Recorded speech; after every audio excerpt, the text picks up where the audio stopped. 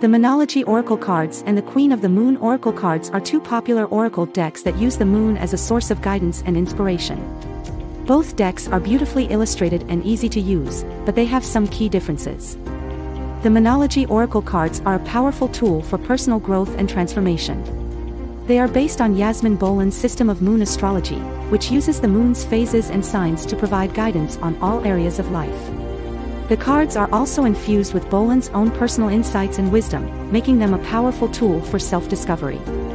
The Moonology Oracle cards have 44 cards, each representing a different aspect of the moon's energy. The cards are divided into four suits, the moon, the sun, the stars, and the earth. The moon cards represent the unconscious mind, the sun cards represent the conscious mind, the stars cards represent higher consciousness, and the earth cards represent the physical world. The Moonology Oracle cards come with a 192-page guidebook that provides detailed interpretations for each card. The guidebook also includes information on how to use the cards for divination, meditation, and other spiritual practices.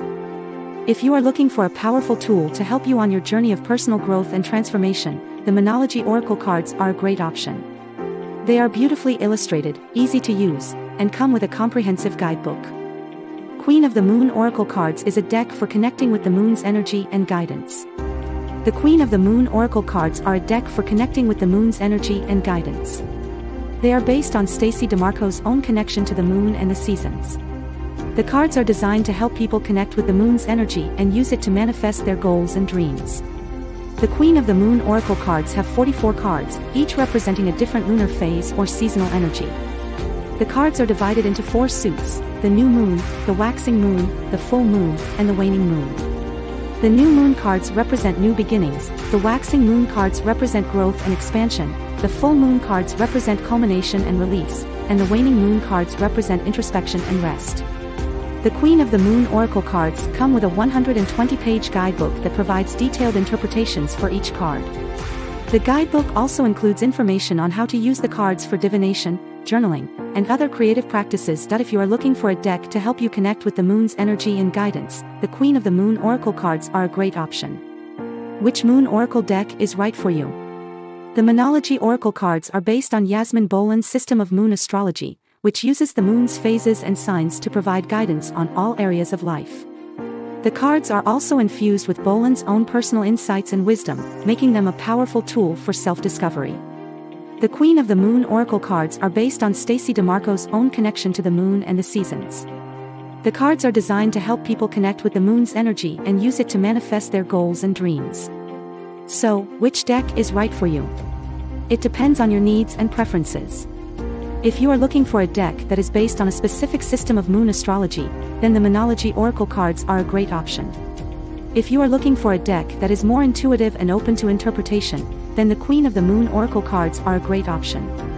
Ultimately, the best way to decide which deck is right for you is to try both of them out and see which one you resonate with more.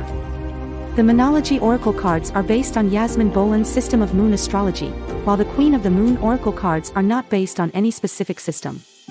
This means that the Moonology Oracle cards may be a better fit for people who are already familiar with moon astrology. The Moonology Oracle cards are divided into four suits, the moon, the sun, the stars, and the earth.